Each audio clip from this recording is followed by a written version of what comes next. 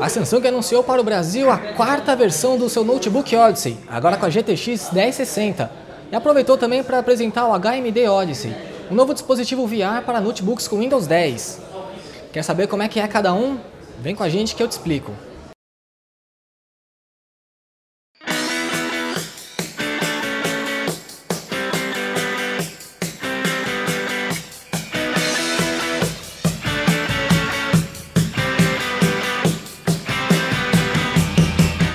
Novo notebook Odyssey só tem de diferente a placa de vídeo, que é, como eu já falei, a GeForce GTX 1060. A diferença é que ela oferece ainda mais poder de renderização para o seu computador.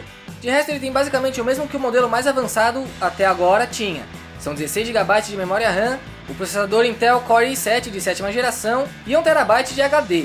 Você pode ver mais sobre o Samsung Odyssey no nosso review completo, pelo card que está aí no topo da tela.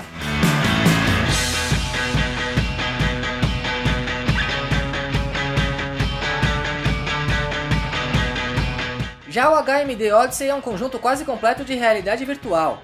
Tem suporte à realidade mista do Windows 10 e funciona em qualquer PC ou notebook com hardware suficiente para dar suporte à experiência.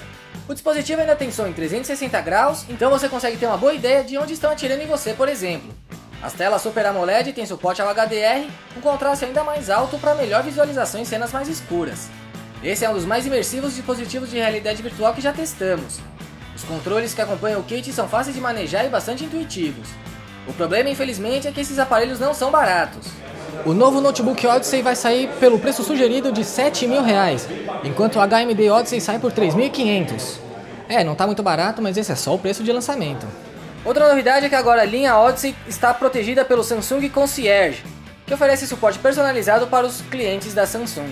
Se você quer saber mais detalhes da nova variante do Notebook Odyssey ou do conjunto de realidade mista da Samsung, é só clicar no card que está no topo da tela ou buscar o link para a matéria completa na descrição desse vídeo.